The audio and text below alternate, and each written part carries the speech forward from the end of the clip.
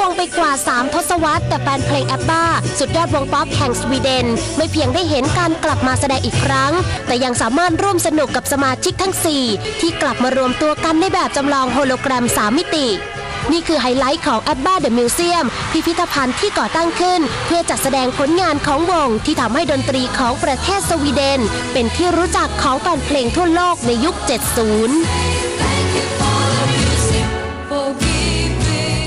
พิพิธภัณฑ์แอปบ้าได้รับความร่วมมือจากพิพิธภัณฑ์ทั่วโลก ที่ให้หยิบยืม ขายและบริจาคของสะสมหายากให้มาจัดแสดง ภายในงานแบ่งเป็นส่วนๆทั้งด้านงานเพลงกับการจัดแสดงรางวัลแผ่นเสียงทองคำของวงการจำลองห้องบันทึกเสียง Polar Music Studio ที่เคยใช้สร้างสรรค์บทเพลงมากมาย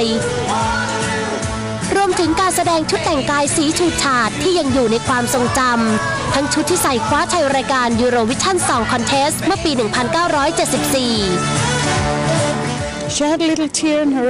ซึ่งอิงมารีฮอลลิงพันธรักษ์ของพิพิธภัณฑ์ อดีตช่างผมและช่างแต่งหน้าของแอบบ้า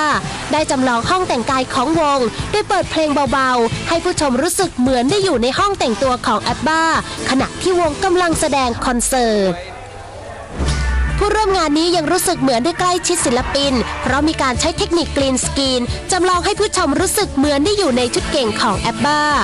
เปียโนที่เชื่อมต่อกับเปียโนในบ้านของบิยอนอุนเวอุสอดีตสมาชิกของ ABBA ที่ผู้ชมในพิพิธภัณฑ์ จะได้ยินเสียงเพลงที่อุนเวอุสเล่นขณะที่เขาอยู่ในบ้าน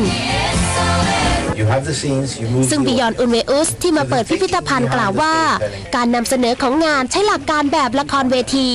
โดยแต่ละส่วนจะเปลี่ยนเนื้อหาเหมือนการเปลี่ยนฉากของละครเพลง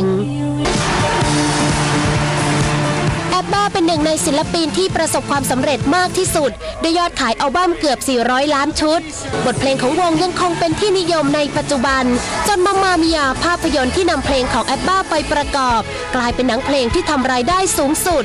ขณะที่เวอร์ชั่นละครเพลงก็มีผู้ชมแล้วกว่า 50 ล้านคน ซึ่งในงานเปิดพิพิธภัณฑ์ มีแฟนเพลงจากทั่วโลกเดินทางมาร่วมรำลึกตำนานเพลงของ ABBA โดยการท่องเที่ยวเมืองสต็อกโฮมคาดว่า ความสำเร็จของ a b b a The Museum จะช่วยกระตุ้นการท่องเที่ยวของเมือง จากปีก่อนที่มีผู้มาเยือน 11 ล้านคน เป็นปีละ 15 ล้านคนในปี 2020 นี้